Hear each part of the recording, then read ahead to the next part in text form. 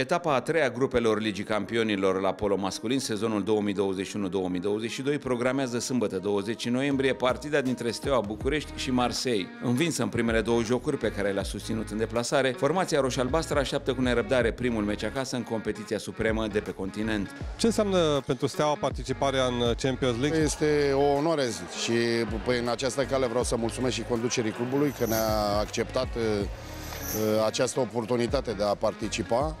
Uh, văzând că este și o lejeră uh, schimbare de generație, ne face doar bine. Suntem aici să creștem, să devenim mai, să devenim mai maturi în joc și să, să reușim uh, în, într-un târziu să, fim, în, să ajungem și în Final Eight. Cam asta ne este gândul. Urmează sâmbătă meciul cu Marseille. Ce așteptări să avem de la acest joc?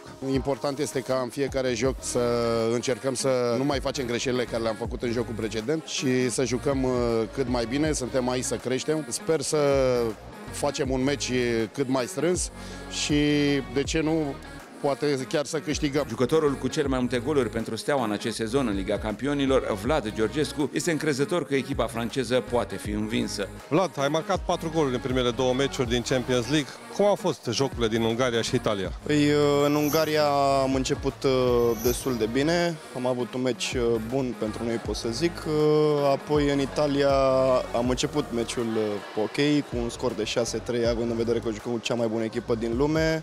Însă apoi repriza a treia și a patra s-a văzut diferența. Ce înseamnă pentru tine și pentru colegii tăi să jucați în cea mai puternică competiție intercluburi din Europa? Jucând cu aceste echipe, progresezi și prinzi cât mai multă experiență ca să ajungi și tu la nivelul lor.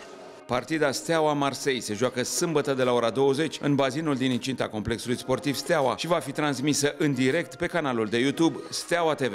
Urmăriți recenul de strict pe Steaua TV.